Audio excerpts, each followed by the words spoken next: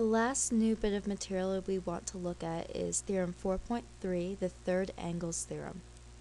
And what this theorem tells us is that if we have two triangles,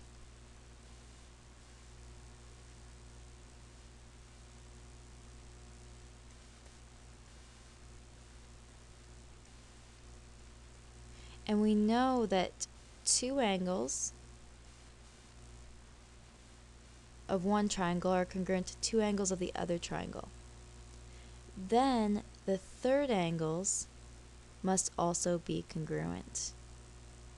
And we will be proving this, but hopefully just looking at that makes sense to you. Let's dive into a couple of examples though. So in the picture below, I want you to name the congruent objects you see in the figure and to justify what why those objects would be congruent. Take a moment, pause the video if you need to, and resume ready when you're ready to see the solution. Okay.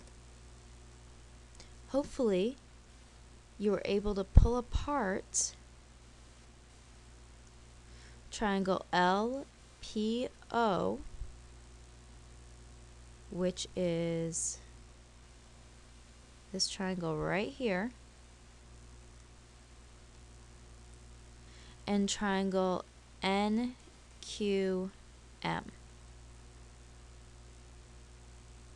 which is that triangle.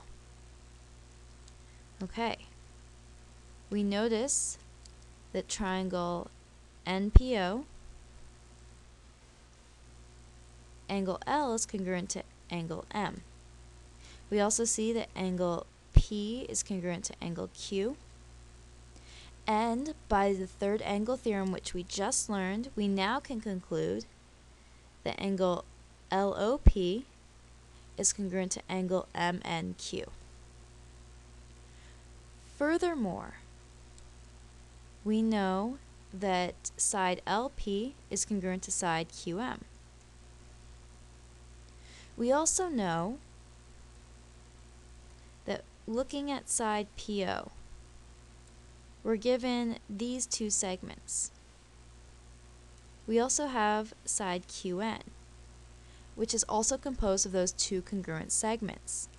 So by segment addition, we know that side PO is congruent to side QN. And then lastly, looking at side LO inside NO. Well, we know that LN is congruent to OM and that NO is congruent to NO because it's itself. Thus, LO, which is composed of this double dash mark and segment NO, must be congruent to side NM which is also composed of this double dash marks plus side NO, meaning that these sides are congruent. Thus, triangle LPO is congruent to triangle, and remember to make sure you match up the corresponding parts. So L corresponds with M, P corresponds with Q, and O corresponds with N. So LPO is congruent to triangle MQN. Hopefully you got that, hopefully made sense.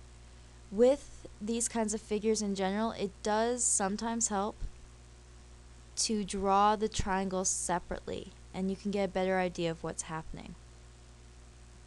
Okay, for the next example, this one might be a little bit easier, maybe not but I want you to find the values of x and y. So take a moment, work this through. When you're ready, resume watching the videos to see the solutions.